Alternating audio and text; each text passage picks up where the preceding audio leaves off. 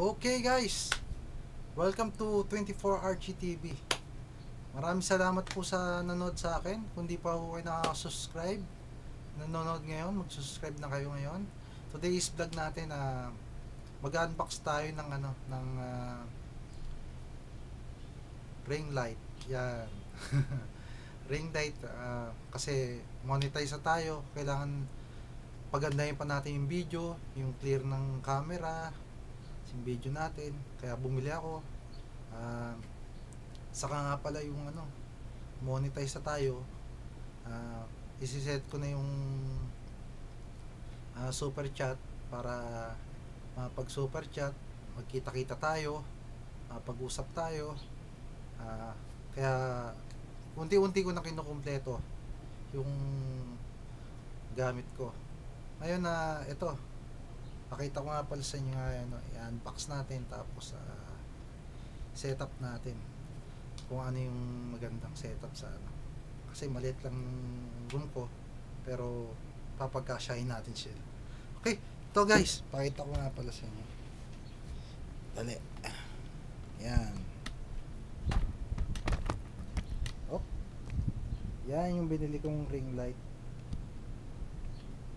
Yan. Unbox na natin siya guys. Tapos setup na natin. Okay. Nasa ano to guys? Nasa magkano ba to? Ito. 950 yung ring light tapos to kasama tong mm, ano niya tripod niya hindi natin ano yung laman sigmund natin para kita yung ano yan yung ring light.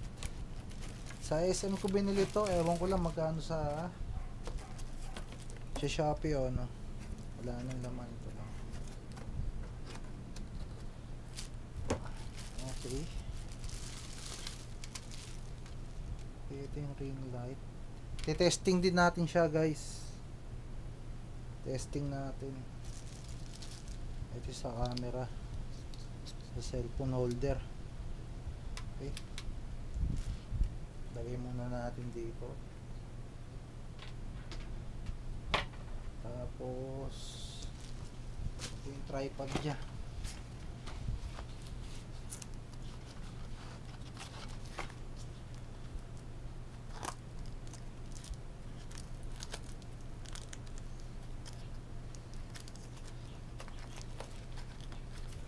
nga pala guys, pag nag ah, super chat ako, suportahan nyo ako ah. Kasi marami pa akong kukwento sa inyo kung paano ako nakakuha ng ah, subscriber saka watch hour. Ito yung tripod niya. Okay. Dali. Set up muna natin. Dito tayo sa banda dito. Alright. Dito tayo.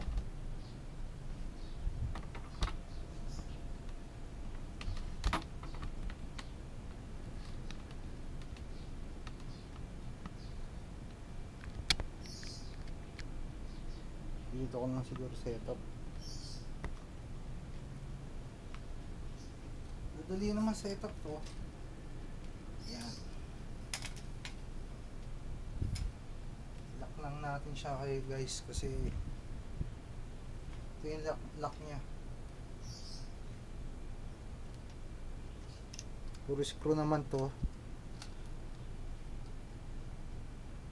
Para hindi bumuksak. Ngayon, pwede na. Na-adjust naman siya guys eh. Tatlo. Mahaba ah yung pinakamataas niya. Bagay na bagay ito sa mga nagti-tiktok. Taas guys oh. Meron pa dito dali. Taas pa natin. Papakita ko sa inyo kung gaano kataas siya. Grabe guys. Tower to. Siya, ganyan siya kataas.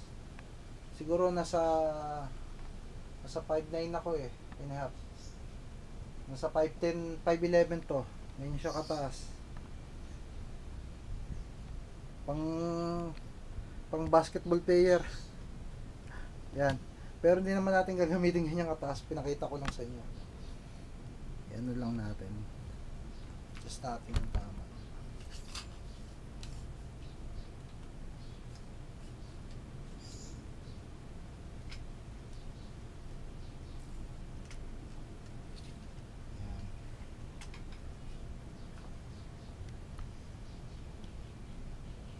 Tapos kapit na rin natin yung ring light. Yung ring light, yan, na-adjust din siya. Movable siya guys. Yan. o. 360 degree to. Tapos may lock. Screw naman siya eh. Kabit muna natin. Bagay na bagay sa mga nagbablog. Mga tutorial. TikTok para maganda yung ano nang hindi nang mal, kung medyo langanin yung camera nyo yung place, yung kwarto nyo kailangan yun to. Ano, paggabi.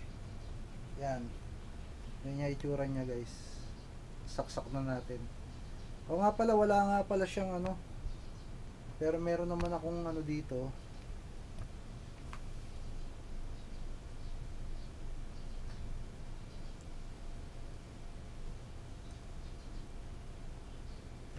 Sa charger natin. Kasi sa charger siya, USB na charger. Yan. Yan to siya guys.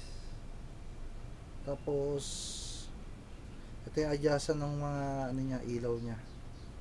I think mga 3 color yata to pero try natin ah. Para ano.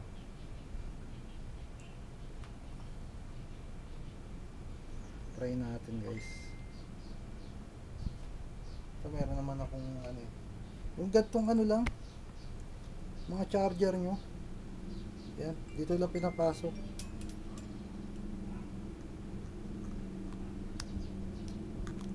Kabit na rin natin yung ano.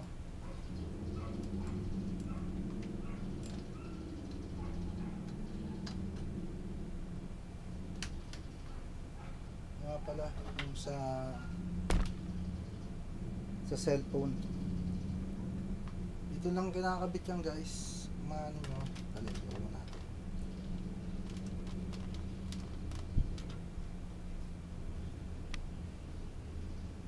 Yan, meron siyang screw dito.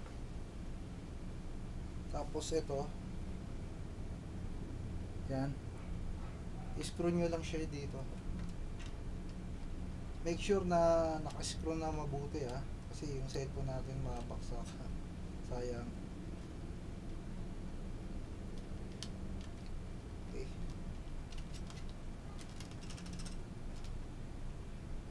Ito lang natin. May cellphone.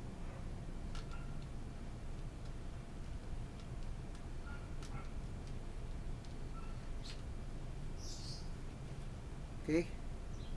Yan ang itsura niya. Test muna natin yung ano. Yung ilaw. Okay, yan yung ilaw niya. Adjust natin. Masyado maliwanag. Hanggang ano siya. 1, 2, 3, 4, 5, 6, 7, 8, 9, 10. Ah, hanggang 9 lang. Hanggang 9 lang siya. Palakasin natin ha. Liwanag. 1, 2, 3, 4, 5, 6, 7, 8, 9. Hanggang 9. Tapos, meron siyang selection pa dito. Ibang ano naman. Ah, Okay. Dim light, guys. Naka dim light siya ngayon. Palakasin natin. 1 2 3 4 5 6 7 8 Yan. Makikita nyo, pang dim light guys. Yan. Ah, set natin number 2 naman.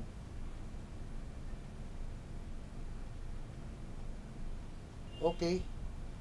Tatlong set siya guys. Isang blue. Ito naman me- medyo ano siya, pagka blue.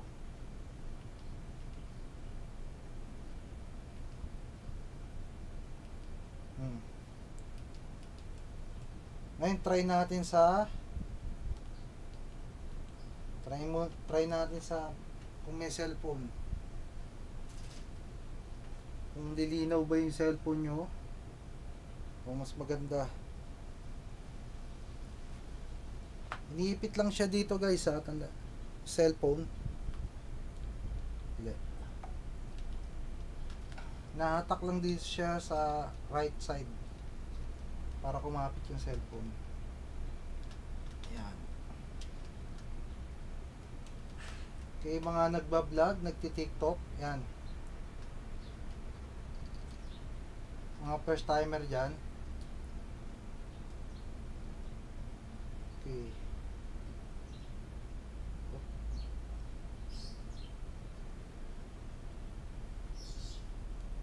Try natin sa. Camera.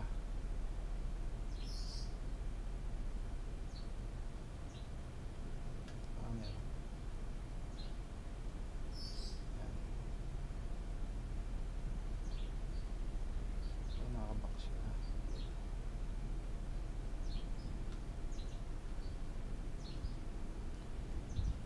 Yan, pag walang ilaw.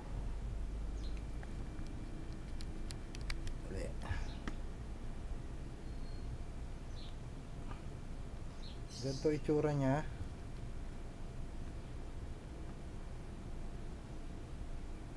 Yan. Try natin nung may ilaw. Maliwanag naman kaya sa cellphone pero kailangan talaga yung surrounding eh. Yan. Mas malinaw siya ngayon. Try natin sa isa. Ba, mas ano, kita yung kita yung lahat ng ano. Hmm. Pati pores ng ano ng balat nyo kita. Kaya may adjustment siya. Kaya sa mga nagme-makeup, nagba-vlog sa makeup, bagay na bagay ito.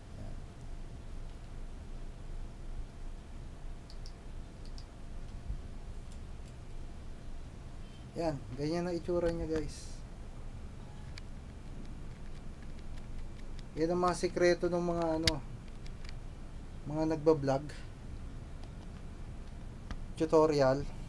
Kaya maliwanag yung ano nila. Yung video nila, yan. Kita nyo naman, oh.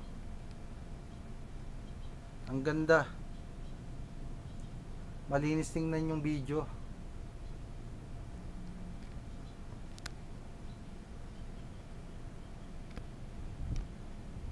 Yan. Okay guys. Sa next vlog naman natin, um, ah bibili tayo ng ano, ng, ng ano ba tawag dito? Try natin nga pala. Gilid natin dito.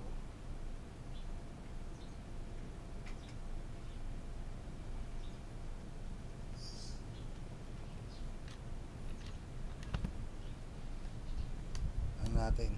Andun yung ito yung ilaw niya. Ito yung camera. Dali. Set natin.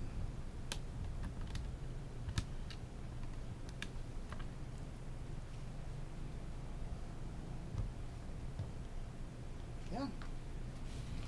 Tingnan natin. Diba, di, di katulad kanina. Laki ng pagkaiba. Pag magbablog na kayo, tutorial, makeup, lalo sa makeup, tapos may, makeup lang kayo, pulbos, para hindi kita yung pores ng mukha nyo. Lalo sa babae. Okay. Ang galing. Satisfy ako. Mas gaganda pa lalo ng video natin. Tutorial. di ba? Meron na tayong talagang kailangan talaga yung di against the light tapos may ring light the best. Okay. Thank you nga pala sa mga nag-subscribe sa akin. Maraming salamat. And hindi ka pa nakaka-subscribe, nanonood ngayon. And comment na lang kayo, guys.